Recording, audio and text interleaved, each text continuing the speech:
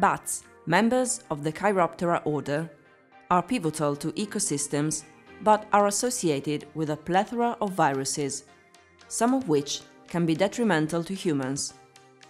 In Europe, the highest risks are related to the transmission of viruses, a genus of viruses which includes the rabies virus.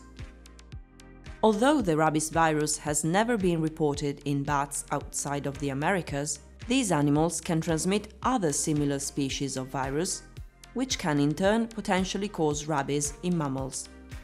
In Italy, for example, transmission of a lyssavirus was reported in a cat in 2020, while fortunately, no cases have ever been notified in humans.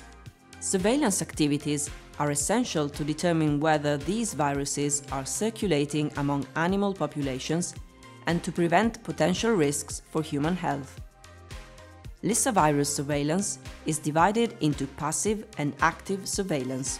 Passive surveillance covers all animals that have died or are found dead, irrespective of their age, species, and the presence of suspicious symptoms. Bats can in fact survive the disease without presenting any symptoms.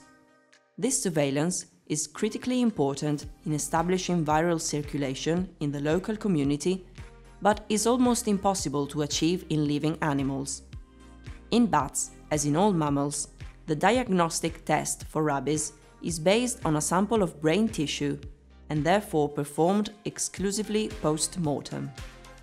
Active surveillance takes the form of samples harvested from live animals, which are subsequently freed and provides information on the transmission dynamics of the viruses in the wild reservoir.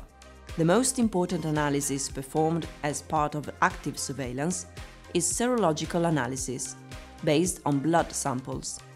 These allow traces of the passage, not the presence, of viruses to be observed. The presence of antibodies produced by the animal's immune system is thus an indicator of previous exposure to the virus not of a current infection.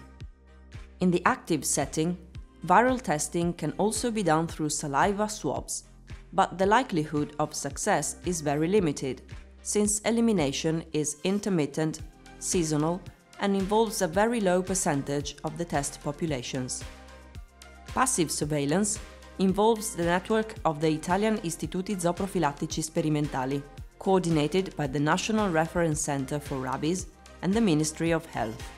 To date, active surveillance is conducted solely by the National Reference Center for Rabies, based at the Istituto Zooprofilattico Sperimentale delle Venezie, under the close supervision of the Ministry of Environment and Energy Security's governing body, ISPRA, the Italian Institute for Environmental Protection and Research, and the Ministry of Health.